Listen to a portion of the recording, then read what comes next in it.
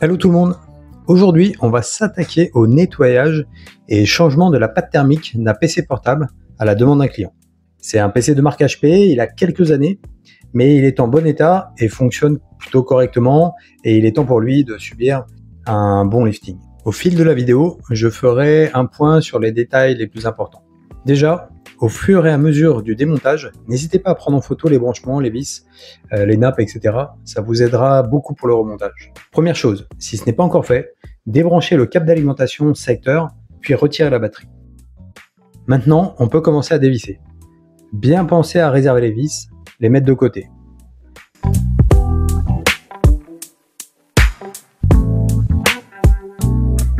Les classer si besoin, car suivant leur emplacement, elles peuvent avoir une taille différente.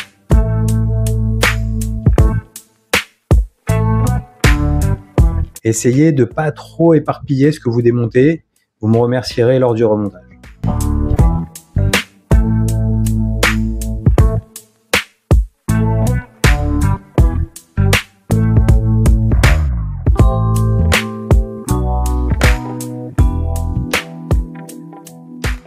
Point important, avant de s'attaquer aux parties électroniques, pensez à utiliser un bracelet antistatique ou un tapis antistatique ou encore de se décharger de son électricité statique en touchant une partie métallique. Ici, on débranche la pile BIOS et la carte Wi-Fi. Comme précisé avant, c'est le genre de détail à prendre en photo afin d'éviter d'inverser les câbles lors du remontage. Puis on retire les barrettes mémoire, elles sont maintenues par deux clips métalliques sur les côtés.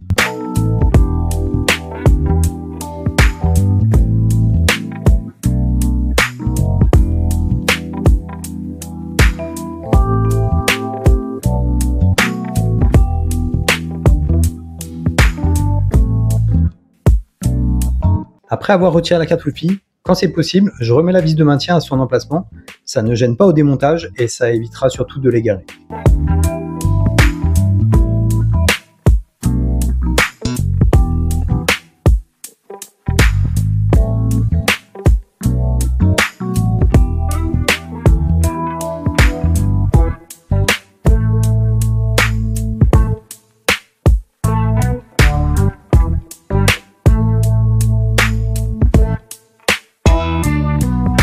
Attention pour le clavier. Après l'avoir déclipsé, il ne faut pas le retirer tout de suite.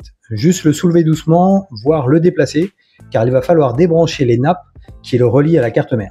Petite parenthèse, en parlant de nappes. Certaines sont juste insérées à force et d'autres sont tout simplement maintenues par un clapet plastique. L'avantage sur les anciens modèles de PC portables, c'était beaucoup plus simple de changer le clavier. Il n'y avait pas besoin de tout démonter. L'inconvénient, pour démonter la carte mère, pas le choix de démonter le clavier car il y avait des vis cachées dessous.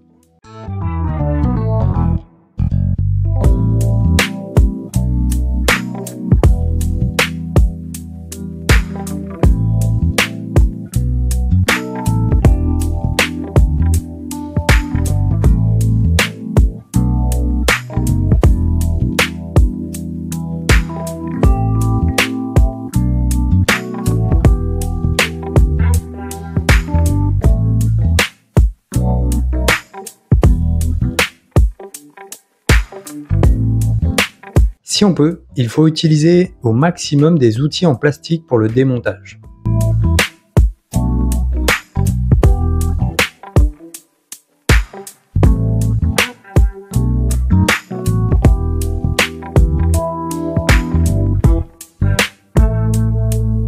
On continue de dévisser et surtout on débranche bien toutes les connectiques visibles.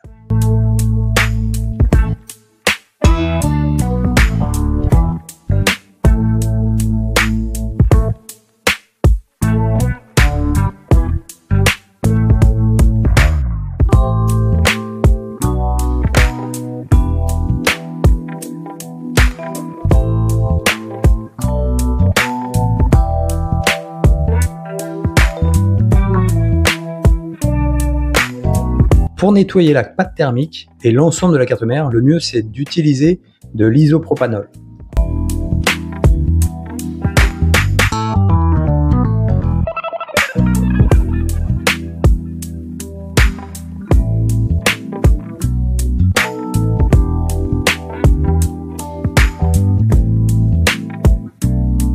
peut voir que la pâte avait sacrément séché.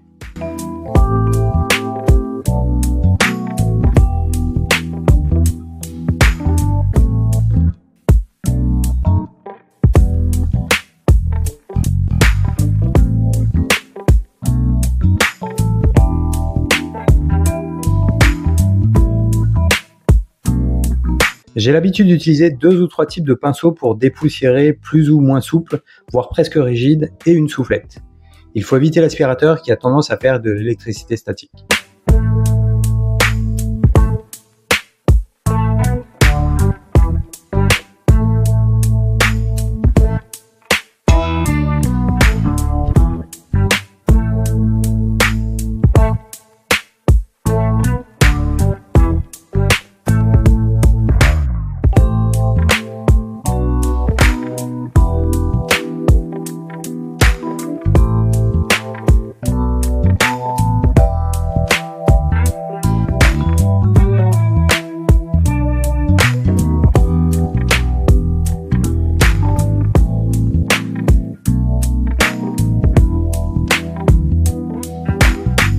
Ici, il y avait un tampon de pâte thermique solide. Je vais donc rester sur le même principe et en remettre. Idéalement, il faut en trouver de la même épaisseur.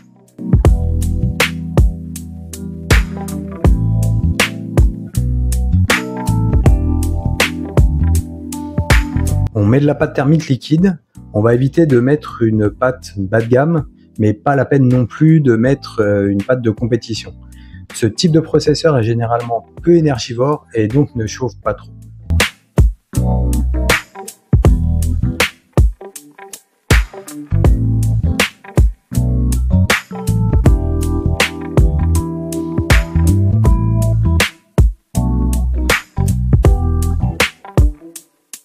Allez, on remet le système de refroidissement et attention, car il faut visser en croix et faire seulement deux ou trois tours, puis passer à une autre vis et ainsi de suite, afin d'écraser la pâte thermique de manière uniforme. Certains refroidissements sont numérotés au niveau des vis et il suffit de suivre l'ordre, c'est beaucoup plus simple. Donc évitez de visser à fond une seule vis, puis de passer à une autre. On s'attaque au nettoyage du clavier et même si ça ne se voit pas trop, il était bien encrassé. En général, j'utilise une mousse multi-surface pour PC. Ici, on peut utiliser un aspirateur, on peut même ajouter un embout brossette, ça ne craint trop rien. Attention quand même à ne pas aspirer les touches.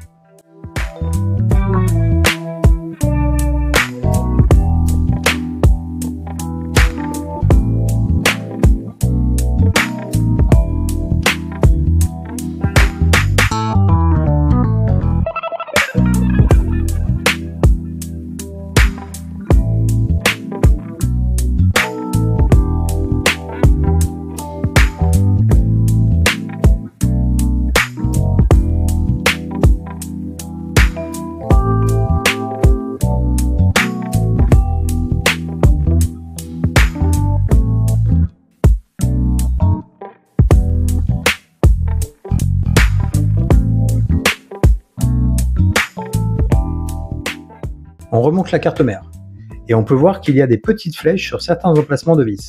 C'est pour éviter de se tromper. Ici par exemple, il n'y a que deux vis à remettre.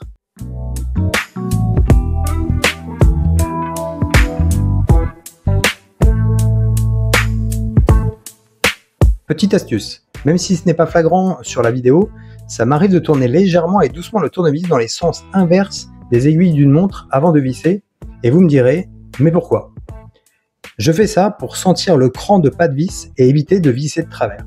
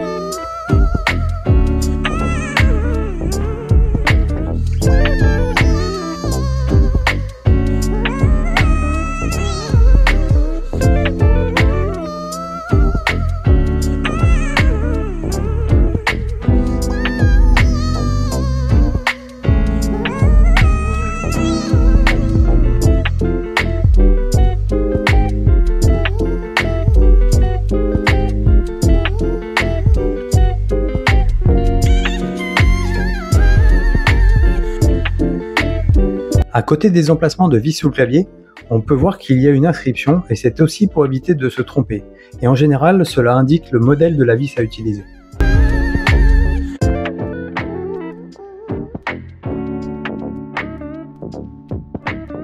On remet bien les nappes.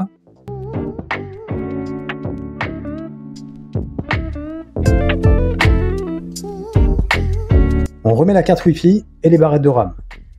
Il y a un détrompeur pour éviter de les mettre à l'envers. Il faut se dire qu'en général, si ça force, ce n'est pas bon signe. Attention au câble de la carte Wi-Fi. Il faut les clipser et c'est assez minutieux. S'ils sont bien placés, vous allez sentir un petit clips. Et pareil, évitez de forcer sinon ça va tout endommager.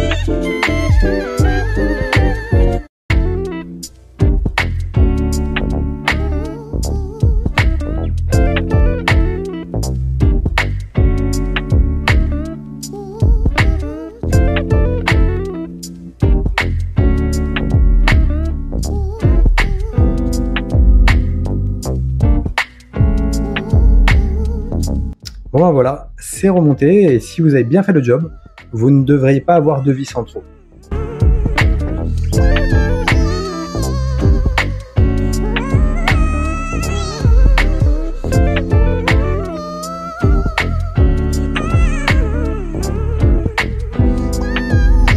Place au démarrage du PC et c'est bon.